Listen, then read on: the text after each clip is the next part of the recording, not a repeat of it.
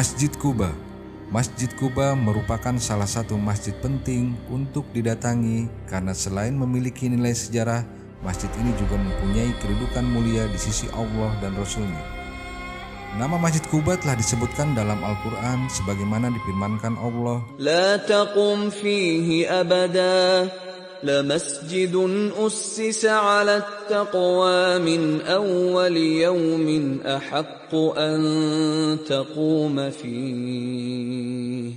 فيه رجال يحبون أن يتطهروا والله يحب المطهرين.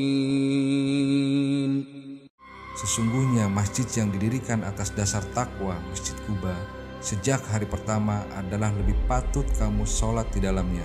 Di dalam masjid itu ada orang-orang yang ingin membersihkan diri dan sesungguhnya Allah menyukai orang-orang yang bersih.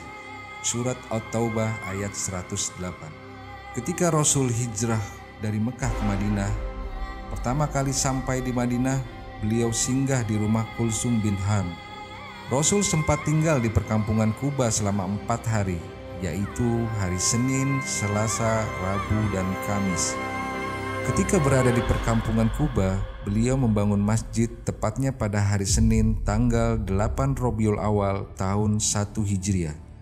Masjid ini merupakan masjid pertama yang dibangun oleh Rasul. Masjid ini dibangun di atas tanah wakaf milik Hulsum bin Hamdan bin Umru al-Khais Mulanya tanah ini digunakan sebagai tempat untuk menjemur kurma. Ada yang mengatakan sahabat yang memiliki peranan penting dalam pembangunan masjid ini adalah Ammar bin Yasir. Karena beliau yang pertama mengusulkan untuk dibuatkan tempat berteduh bagi Rasul selama di perkampungan Kuba. Lokasi masjid ini sekitar 7 km dari Masjid Nabawi terletak di kaki bukit dengan telaga mengalirkan air jernih yang menyuburkan pepohonan dan kebun-kebun di sekitarnya. Di dalam masjid itu sendiri terdapat sumur yang nisbatkan kepada Abu Ayyub Al-Ansori, Rasul yang meletakkan batu pertamanya lalu dibantu oleh Abu Bakar, Umar dan Hamzah serta sahabat lainnya. Bentuk masjid Kuba di saat itu sangat sederhana karena terdiri dari satu ruangan persegi empat memiliki serambi yang diberi atap di bagian mihrab, di sekelilinginya diberdinding dan di tengah-tengahnya terdapat ruangan terbuka yang diberi nama Sun. Memiliki tiga buah pintu, pada awal masjid Kuba berdiri di atas kebun kurma yang luasnya sekitar 5000 meter persegi dan bangunan masjidnya sendiri sekitar 1200 meter persegi. Rasul sendiri yang mengkonsep desain dan modelnya. Arah kiblat ditentukan oleh Rasul sendiri dengan meletakkan batu dan arah kiblat saat itu menghadap ke Masjid Al-Aqsa. Muaz bin Jabal ditunjuk oleh Rasul sebagai iman ditetap di Masjid Kuba. Pada masa Rasul dan Khulafaur Rasyidin, Masjid Kuba merupakan bangunan sederhana, serambi untuk sholat di sebelah utara, bertiang pohon kurma, beratap datar dari pelepah, daun-daun kurma yang dicampur dengan tanah liat, di samping masjid terdapat sumur tempat mengambil air wudhu. Pada masa Abdul Malik bin Marwan, Masjid Kuba diperluas. Begitu juga pada masa Umar bin Abdul Aziz. Ketika membangun Masjid Nabawi, beliau juga membangun Masjid Kuba. Selain memperindah juga memperluas, saat itu dinding dan tiangnya diubah dengan batu. Dari masa ke masa, Masjid Kuba mengalami banyak perubahan dan penambahan, terutama pada zaman kerajaan Ottoman.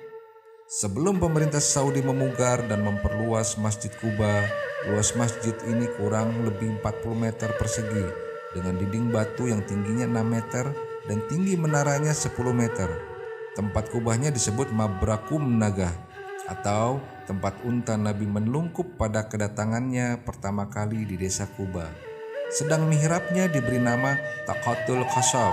Saat ini Masjid Kuba menjadi masjid yang sangat indah dan luas karena telah dibangun dengan mendatangkan arsitek ahli dan dengan alat modern tanpa mengurangi kegunaan masjid dan nilai sejarah yang dikandungnya. Keutamaan Masjid Kuba Masjid Kuba ini adalah masjid mulia yang pembangunannya disebutkan di dalam Al-Quran dan juga yang membangunnya adalah Rasul dibantu oleh para sahabatnya.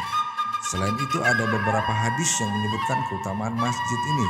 Di antaranya, Rasul selalu mendatanginya, berkata Abdullah bin Umar, Rasul bersabda, Sungguh Rasul selalu mendatangi Masjid Kuba, baik dengan berkendara atau berjalan kaki. Abdullah bin Umar dan para sahabat lainnya selalu menyempatkan diri untuk mendatangi Masjid Kuba satu kali dalam satu minggu. Mereka sering kali mendatangi di hari Sabtu dan hari lainnya. Sholat di dalamnya seperti umroh, berkata Usaid bin Zuhair. Rasul bersabda, sholat di Masjid Kuba seperti umroh.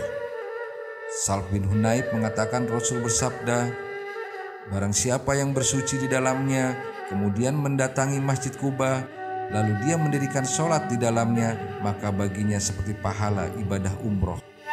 Lebih disukai dari Baitul Maqdis berkata Am dan Aisyah binti Sa'ad kami telah mendengar dari ayah kami, beliau berkata, Sholat di Masjid Kuba lebih aku sukai daripada sholat di Masjid Baitul Maqdis. Bagi para jamaah yang mendatangi kota Madinah, dianjurkan untuk mendatangi Masjid Kuba dan mendirikan sholat sunnah di dalamnya, dua rakaat atau empat rakaat. Setelah itu, tidak mengapa baginya untuk berdoa dengan apa yang diinginkannya.